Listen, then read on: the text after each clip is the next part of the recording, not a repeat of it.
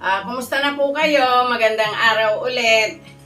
Gagawa ako ngayon ng blouse na uniform sa eskwelahan. Ito guys, yung size ng gagawin ko, yan. Last year po, ako rin ang gumawa nito. Ngayon, nagpapagawa uli yung nanay ng tatlong piraso. Ang kakaibahan lang po nito ngayon ay meron po itong tatlong pintax. Yan, ito siya guys. Tapos, ang collar nito ay sports collar. Yun, ang gusto nung nanay, adjust natin yung collar. Pag nag-adjust po kayo ng collar, ganito na po siya, uh, ibaba nyo lang po yung gupet dito. O guys, tatabasin ko, ipapakita ko sa inyo yung mga adjustment na gagawin natin. Kasi yung bata, lumaki, medyo lumusog, kaya magdadagdag po tayo ng konti-konti sa mga tabi. Oh, guys, ito na yung gagawin nating blouse. Ang tela ko nga po pala ay Katrina. At ang nagamit ko po dito sa tatlong blouse ay 4 yards. Ito po yung back ng uniforme ko. Ang size po nito ay medium. Yung nakikita nyo pong 20, yung po kasing kinuhanan ko ng pattern ay may nakatatak na nito. Pero ito po ay medium. O ito guys, yung tatlong back. Yung front ng uh, blouse, dapat ganito po siya eh. Yan. Ito siya guys. Tinanggalan ko lang siya ng para dito sa sleeve na uh, tatlong piraso. Yan. Para na po dito. Kasi kung kukunin natin yung back dito sa pinaka-front, hindi po kakasya. Guys, meron ng tatlong back at saka tatlong sleeve. Ngayon ito, magtataka po kayo kasi ang front po ng blouse na to, ito lang yung laki niya guys. Ito lang. O yan. Kaya lang, ito, bago ko po tabasin, uh, maglalagay muna po ako ng pintax dito na tatlong piraso. Kaya ang kakating ko lang po muna ay yung back, yung sleeve, at saka po yung uh, paha. Yung pong collar, hindi rin po pwede munang katin natin kasi mamaya na po, pag nayari na po yung uh, front. O, oh, ito siya guys. Ngayon, yung paha, ito guys, wag po kayong kukuha ng paayon. Kinapit po natin to, kunin nyo lang po yung talagang kailangan nyo na sugat. sukat. Kunyari po 38, mag-plus lang po kayo ng 2 inches sa kabilang dulo para po sa pagpupod. O yan guys. Ngayon ito, tatabasin ko na po itong sleeve niya. Yan. Ito po kasi nakapold na siya ng paganon. Yan, ganyan lang siya guys. Ngayon, ang gagawin natin, popold na din lang po natin siya ng ganito.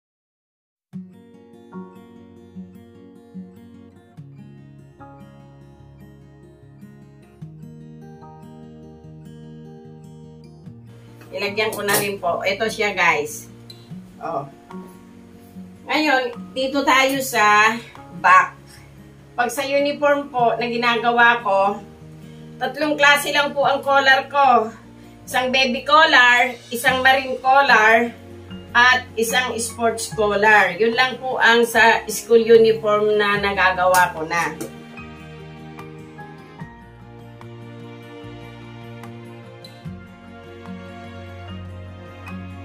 Guys, tapos na yung tabas natin.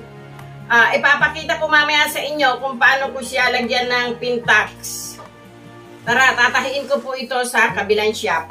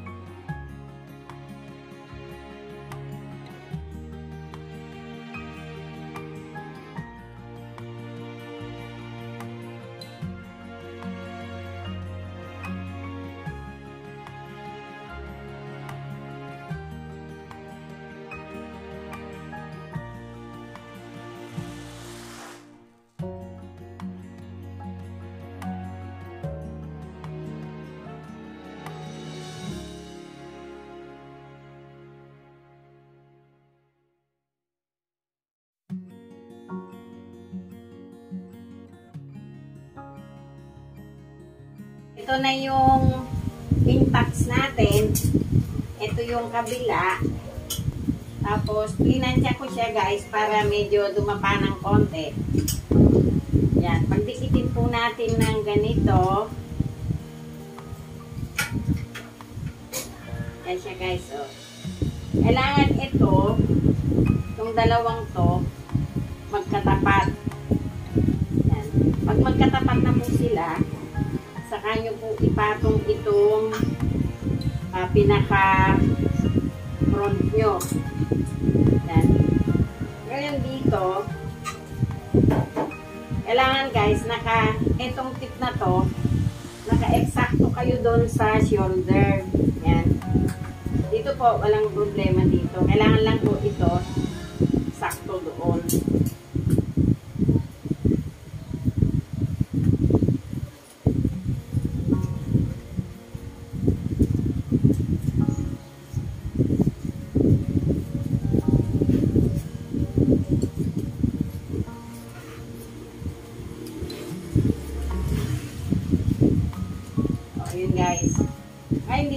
Sa laylayan, pantayin nyo na lang po siya.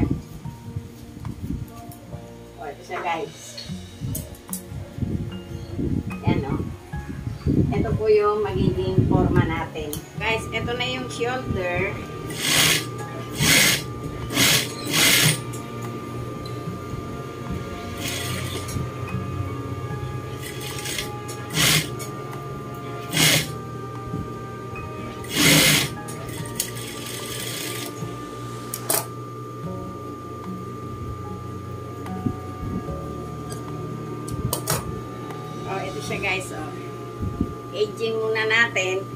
Yung sleeve, ikakapit na natin. Ang sleeve nito ay pabalik.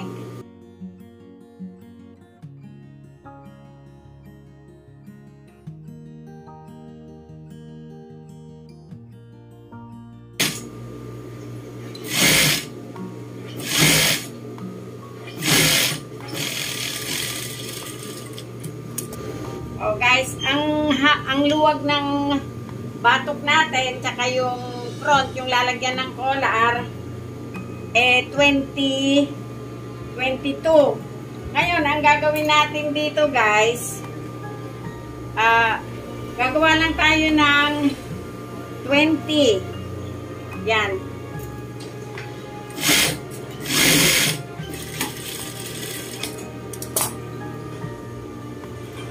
Kasi po, yung 1 inch sa magkabila, ano yon yun yung ilalagyan ng uh, butones. Ito guys oh. Sports collar to kaya patulisin nyo po yung uh, dulo. O oh, yan guys.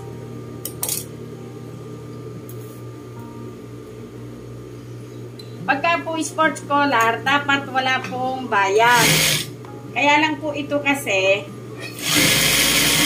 yung pagka-sports collar niya ay hindi hindi open.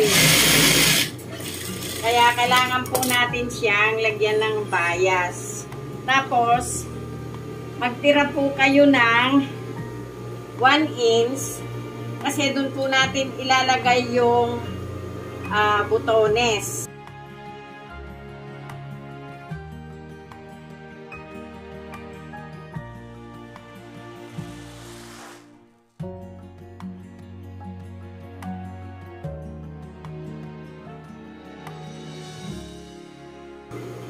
Tapos guys, gupitan na natin. Yung pong gupit dito, wag nyo pong isagad. Magtitira po kayo. Yan. Kasi pag sinagad nyo po, hindi po maganda. Wala pong buwelo yung bias. Babaliktad po siya sa likod. O, yan guys ah. Ayun, dito, ito oh, nakakanto na siya doon oh. Gawin po natin dito sa facing na to. Ilagyan ko po ng facing kasi ano eh, para po matigas yung lalagyan ng butones. Pwede rin po namang huwag nyong lagyan kung ayaw nyo.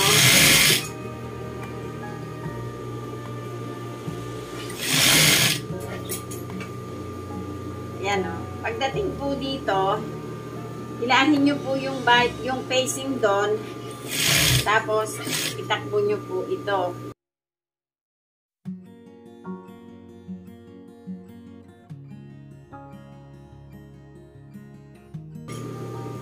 Pagdating po doon, ilahin nyo po yon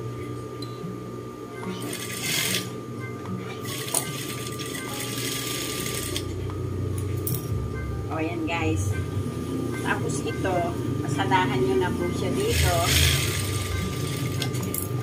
Para po mamaya, pag nagpaka kayo, wala na po kayong problema. O, ipa-pipe ko lang yung slip. O, guys. Pinipe na natin yung slip. Tapos ito, pinasadahan ko na rin. Pero idadaan pa rin po natin sa straight para may lock po.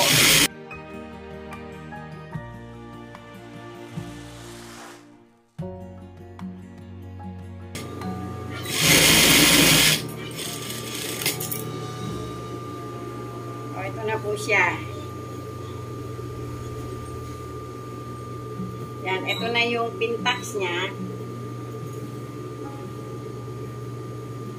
O yan guys, o, pareho sa shoulder, hanggang shoulder din lang. Ganito po kasi yung sistema ng collar nito. Yan. Ito siya guys. Ngayon, lalagyan na natin ng uh, paha. Bago po kayo magpaha, check nyo kung pantay yung dito, ito, ito siya guys, oh, yan oh, kita nyo, pantay. Dito may konting-konti lang. Yan. Ang paha natin ay 38 inches. Ngayon, yung 38 inches, magtira kayo dito na, kasi 36 lang yung paha ng bata, magtira kayo dito ng 1 inch, ayun, tapos, lagyan nyo po siya doon ng, ng tandaan. Tapos, yung tiniklop nyo po na uh, isang tiklop, pangalawang tiklop, ito pong gitna nito, lagyan nyo din ng tandaan. O, ito na po. Yan. Ngayon, ito, pinantay na natin kanina. Uh, idapa natin dito. Kailangan lang po, pantay ang pakain ninyo ng uh, tahe. O, ito guys. Ito kasi, ito yung dapat lalagyan ng side na to. Ngayon, i-move nyo po yung side doon sa tandaan. Maglagay po kayo dito ng pleats. Pwede pong isa, pwede pong dalawa. O, yan guys. Andito na po tayo sa likod. Ngayon, kunin nyo yung gitna nitong likod. O, yan. Tapos, tumakbo po kayo dito. Ito po yung gitna ng paha. Ito po yung gitna ng body. Yan. Pagdikitin po natin sila. Ngayon, kanina, nung nagtabas tayo, meron tayong islas dito ang gamit po nito ay ito yung itutupi po ito sa likod. Yan. Para po pantay ang uniform. O, yan. Katulad po dito. Andito na naman tayo. Ngayon, ito. Ito na uli yung side nung isa, isang side nung blouse. Dikit nyo doon kumuha po kayo dito nung uh, plates. Oh, yun siya guys.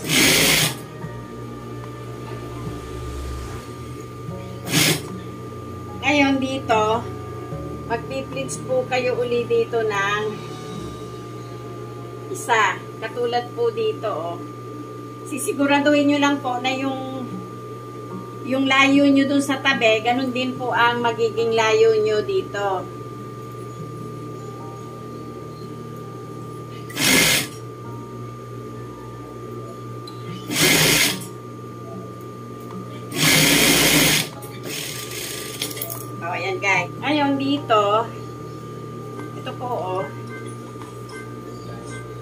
Pantayin nyo yung paha doon, yun.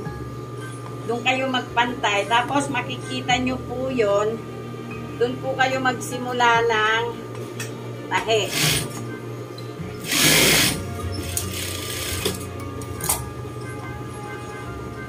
Ganon din po dito sa kabila. Ayun guys, oh. Kunin nyo muna to. Yan. Pantayin nyo. Ito po yung pinagtahian. Yan. Ito po, gupitan nyo lang po ng konti. Kasi ang purpose po nito, pag tumaba ng konti yung bata at re-repairin yung paka, pwede po sila ditong kumuha ng pampaluwag. Ito po kasi yung ginagaya natin. Ito. Ito guys, oh.